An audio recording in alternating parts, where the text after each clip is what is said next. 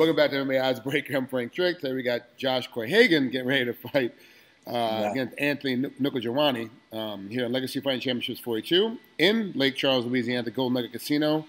You're already in Lake Charles. That's home for you. That's right. That's where I trained. That's where I've lived for about uh, 12 years now.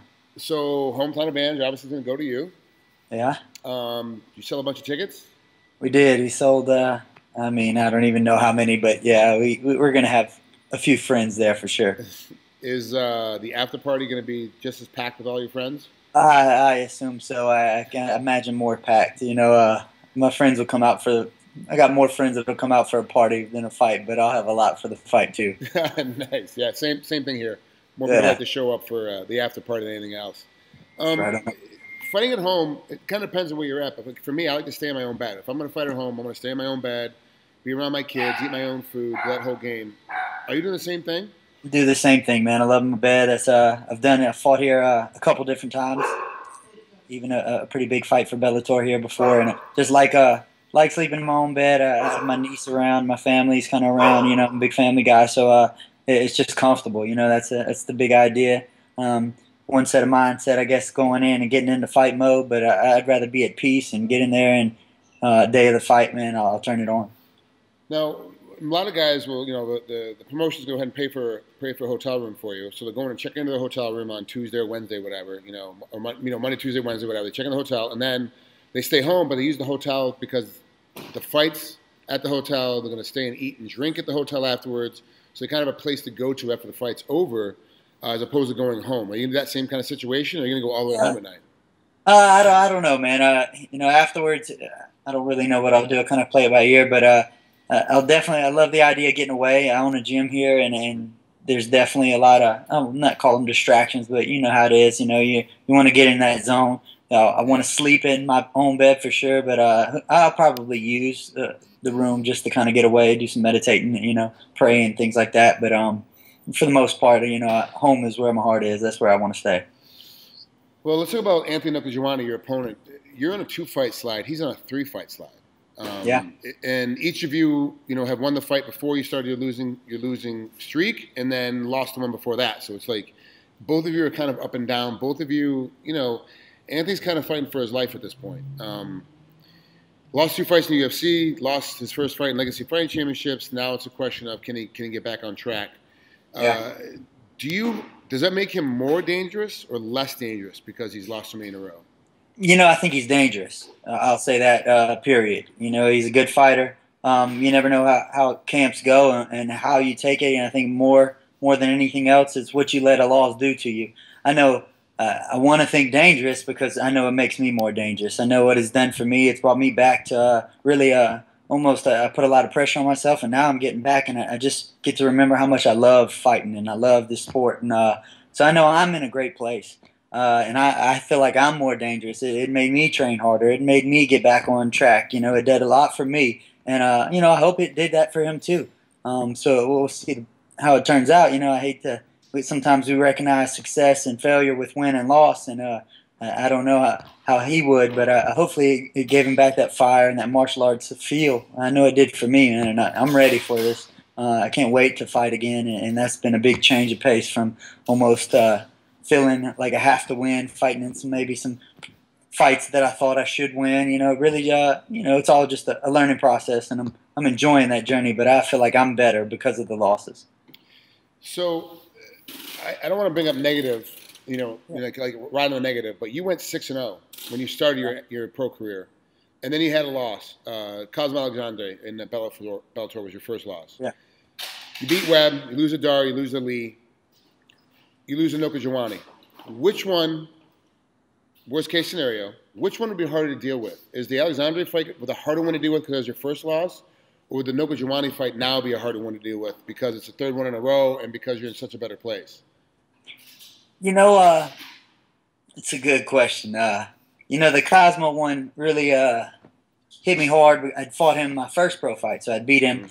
And then uh, that's one of the ones I fought here in Lake Charles. And then I went back and fought him where he was training in Florida. And, uh, you know, I felt like uh, no excuses. That he outperformed me, no doubt. But my mind wasn't right. My, I felt like uh, there's a lot of things going on. And then even the last two losses, you know, uh, even maybe a little bit of pride got uh, uh, exposed a little bit more. And, you know, I feel like I'm in the best place ever now. Mm-hmm. Um, and, and, again, I, I, don't necessarily know how how it would feel to lose to Njokuani, but I, want to make sure that I don't look back and say, "Hey, I made that that mistake. I made this mistake." I want to fight. I want to go to war with Njokuani. In Njokuani, you know, I, I want I want to test myself. You know, I want to enjoy it, and I, I look back on a couple fights before the ones that I've lost, and I can can pinpoint things, maybe even camp, pre-camp, um, in the fight specifically, little mistakes that maybe I made uh, that I that I regretted that I made. Not that I lost, that I made these mistakes. I'd like to get in there and and, and fight and, and, just enjoy it and, and, really do what I'm capable of. And so if I did that and I lost, uh, I think this one would be a little easier to take. You know, and, and Njokuani's a great fighter, world class striker. You know, um, and I plan to test it. You know, we're gonna strike. And so, uh, you know, I'm re- I'm ready to be tested, but I I, I want to get in there and I want to be satisfied more than than win or lose. But uh, you know, I believe that the win is where I'm at at that that level. I believe that I can fight with world class strikers, and I believe I can beat them. Um, so I'm ready to do that. And this is for the folks at home that are listening in that that losing a fight when things aren't right is so much more hard to deal with than losing a fight that you gave everything you had did everything correctly, and that guy was just better than you that night. That fight you can deal with as a loss. Like, hey, I got beat. I was I was not the better man that night. But then going into a yeah, fight, yeah. like for you for Cosmo, you're like, I just wasn't all there, and I got beat. That one sucks. If you had a chance to fight Cosmo again, you do it again then for sure. Oh yeah, oh, okay. you know, uh, I think he's going a little bit higher. I'm a lot smaller than I was then, but mm-hmm. that's a fight I'd like to take. Yeah, you know, I'd like to do that trilogy fight for sure. I know he's with Legacy. You know, it's yeah. don't put too much plan on anything, but uh, uh, it's definitely something that's been on my heart. It's, it's the only it's the rematch that I won. I've lost my last two. Can definitely pinpoint mistakes that I made there, but the the Cosmos one that I thought was a little bit more internal, and and for sure that third fight would be great. Well, I've got Mick and Colin's phone number, so I'll, I'll give him a little. Hey, call. you know, you know put a bug in their ear, you know. Well, let's let's get on a positive note. You're gonna fight yeah. Noka You're gonna finish him. You're gonna win. Yeah. How do you see yourself finishing this fight? He's a world class striker. He's great on his feet. He's been working diligently on his jiu-jitsu, working yeah. diligently on his on his wrestling game with uh, John Fitznell at his camp. Yeah. You know, where do you think you're going to be able to stop him? What, where do you think it's going to be? Is it going to be on the ground? Or is it going to be on the feet? You know, I, I, I don't try to you know make too many predictions as much. Uh, you know, same idea. You know, you work at, at all levels. You know, you want to you have uh, answers to, to any equation and, and, things that you want to overcome. But uh, I don't want to predict or put too much emphasis on it, but I, I think it'll be striking. You know, that's where that's where my um, when I when you say I finish him and you ask how, in my mind, it, it's it's throwing a, a counter strike or, or even some offensive combinations that I've really worked on. You know, I'm just I want to I want to strike. I want that's I love I love to strike. Uh, he does too. Um, uh, potentially the ground game game comes into play and, and, maybe the finish is there, and that's that'd be great too. Um, but I if it happens the way I want it to happen, I'm standing up and he falls down. It's going to be a great fight. I think both of you guys have a lot of action. Both of you have something to prove. You, obviously, the hometown crowd, and also show that you're spiritually and, and mentally more aware than you have been in the last couple fights. And like you said, for you, to find that satisfaction inside that cage, you have a lot to prove. Anthony's got to prove that he he's able to, to, jump back from legacy back into the big leagues. That that's his big goal coming to legacy is that he he chose it specifically because if the UFC comes calling, he can go back and go up to the UFC. I yeah. think that'd be a great move for him. So he's got definitely got something to prove. And I believe that if he loses this next fight, he might have to reevaluate his training habits, his training partners, his coaches, because now he's going to be on a four-fight losing streak. Does that ever come in a factor where you're like, you legitimately can change a man's fortune? If you beat a guy up bad enough, you might change his fortune to the point where he has to stop fighting and move on to something else. Does that ever enter into your mindset? Yeah, I mean, it has. You know, that's one thing too that you know I'm a devout Christian man, and I love people. And when it comes right down to it, you know, I, you know, I love Anthony. You know, I wish the best for his career. Um, I, but I also know how how the world works, and, and, sometimes the best things can come from the worst things, so to speak. And I know how much emphasis we put on fighting, how how hard you have to train to do this, how how much this is your world when you're in it, and, and when it gets taken from you, and things don't go the right way, you almost uh, evaluate your self worth based on what you do in a cage. And uh, and um, I think where I'm at now is I don't do that anymore. You know, uh, my my self worth is outside of it. There's a lot of things uh, uh, in my life that are more important. Uh, so I hate to do that to somebody, but I also um, I think there's there's positives that, that will come around the world that I can't see, and um, so that's what that's what my hope is that, that we both leave the cage better men or, or find a way to become better men because of it, and that, that's I'm at peace with that. Do you, do you sometimes have a hard time dealing with your Christian beliefs and the violence of MMA where you're like, I gotta, this guy will not go away. He will not stop coming at me.